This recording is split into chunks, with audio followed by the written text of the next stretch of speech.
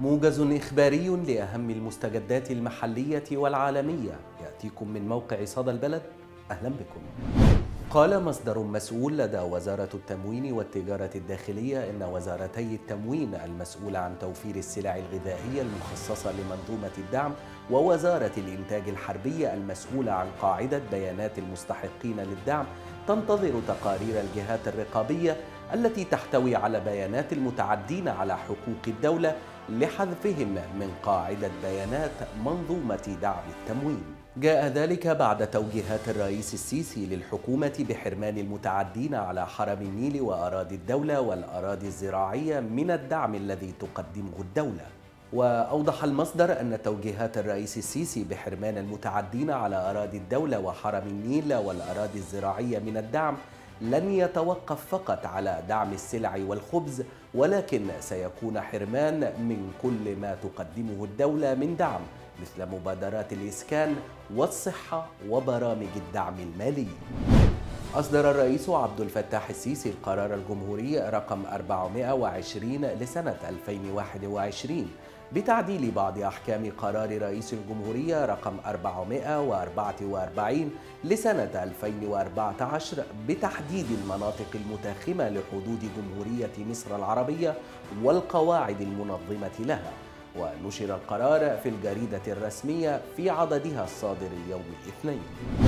كشف الدكتور حسام حسني رئيس اللجنة العلمية لمكافحة كورونا عن موعد ذروة الموجة الرابعة لفيروس كورونا لافتا إلى أنها ستبدأ خلال ثلاثة أسابيع.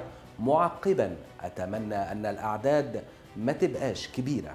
وأضاف الدكتور حسام حسني أن المنظومة الصحية ووزارة الصحة تعمل على مدار الساعة ومجهزة لاستقبال كافة السيناريوهات المحتملة.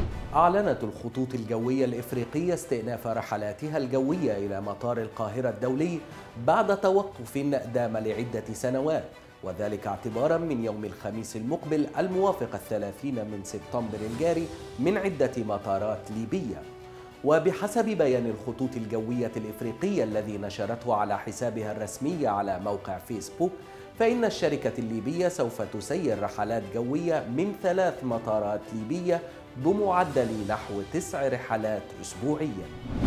ورياضيا كشف مصدر مطلع داخل نادي الزمالك عن حل أزمة حمد النقاز الظهير الأيمن التونسي للفريق حيث صدر حكم من المحكمة الرياضية الدولية بقبول طعن الزمالك وإلغاء الغرامة الموقعة على النادي والبالغة مليون وثلاثمائة ألف دولار لصالح اللاعب التونسي والتي كانت سببا في التعاقد معه خلال الفترة الانتقالات الصيفية الجارية وفجر المصدر مفاجأة من العيار الثقيل عن انضمام حمد النقاز خلال الساعات القليلة المقبلة إلى نادي بيراميدز على سبيل الإعارة لمدة موسم واحد. بهذا الخبر الرياضي نختتم هذا الموجز. نشكركم على حسن المتابعة وحتى يتجدد اللقاء. لكم منا كل التحية.